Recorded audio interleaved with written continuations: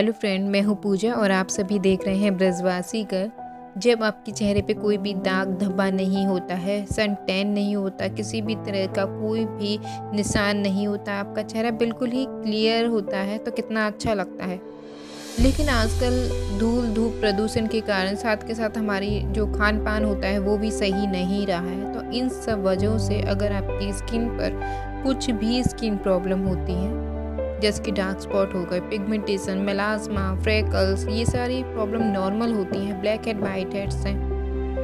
तो इन सब चीज़ों को ख़त्म करने के लिए आज जो प्रोडक्ट मैं आपके लिए लेकर के आई हूँ, बहुत ज़्यादा कॉस्टली भी नहीं है और अच्छा है। इसमें कुछ एक ऐसे एसिड हैं जो आपकी स्किन की ज़रूरत होते हैं। जिनको इंग्रेडिएंट की नॉलेज है, वो समझ सकते हैं ये सभी इंग्रेडिएंट कितने ज़्यादा फ़ायदेमंद हो सकते हैं आपकी त्वचा पर। इसको कैसे इस्तेमाल करना है, कैसे ये आपकी त्वचा फ़ायदा देगी और कब तक इस्तेमाल करना है। सबसे बड़ा इशू ये रहता है, हम कब तक यूज़ करें। तो इस वीडियो में सब कुछ क्लियर कर दूँगी। आई होप कि ये वीडियो आप सभी के लिए हेल्पफुल रहे। आपने अभी तक ब्रजवासी गर्ल को सब्सक्राइब कर लिया हो। तो चलिए अब शुरू करते हैं वीडियो दोस्तों, आज मैं बात कर रही हूँ कृष्णा वाइट स्किन क्रीम की, ये एक स्किन क्रीम है, यानी कि skin whitening, skin lightening cream है। ये 20 ग्राम का ट्यूब आपको 400 में इजीली ऑनलाइन मिल जाता है।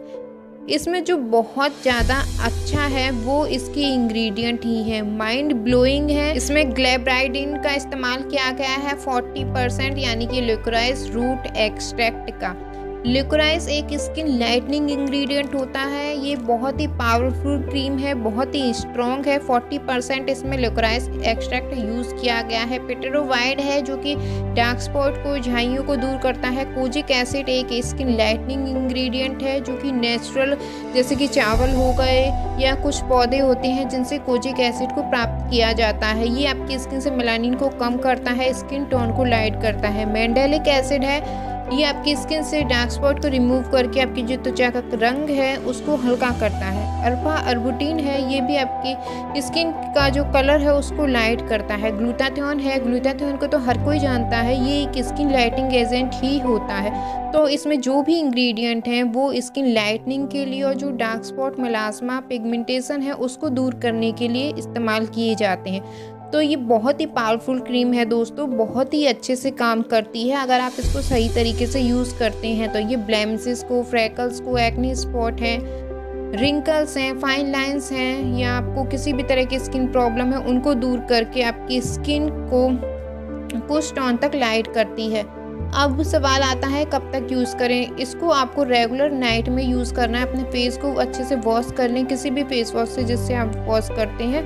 उसे वॉश करने के बाद में आपको थोड़ी सी क्रीम लेकर के तीन से चार मिनट अपने चेहरे पर मसाज करनी है। आपको टेन मंथ इसको रेगुलर यूज़ करना है। कितनी पुरानी से पुरानी स्किन प्रॉब्लम है आपकी ख़त्म हो जाएगी। आप टेन मंथ यूज़ करने के बाद में इसको स्टॉप कर सकते हो। किसी भी तरह कोई भी प्रॉब्लम नहीं होगी। काफ़ी लोगों के सवाल होते हैं, क्या इसको छोड़ने के बाद में फिर से स्किन ब्लैक हो जाएगी? बिल्कुल भी नहीं होगी। ये एक नेचुरल है, चीज़ है। कोई भी केमिकल चीज़ नहीं है। केमिकल को हम यूज़ करते हैं तो उससे आपको साइड इफ़ेक्ट हो सकते हैं। इससे नहीं होगा। ऑल स्किन टाइप्स यूज़ कर सकते हैं, चाहे आप मैन हो, वो मैन हो। इतने अच्छे अच्छे और एक साथ इतने सारे स्किन लाइटनिंग इंग्रेडिएंट आपको किसी प्रोडक्ट में नहीं मिल सकते जो आपको इसमें मिल रहे हैं।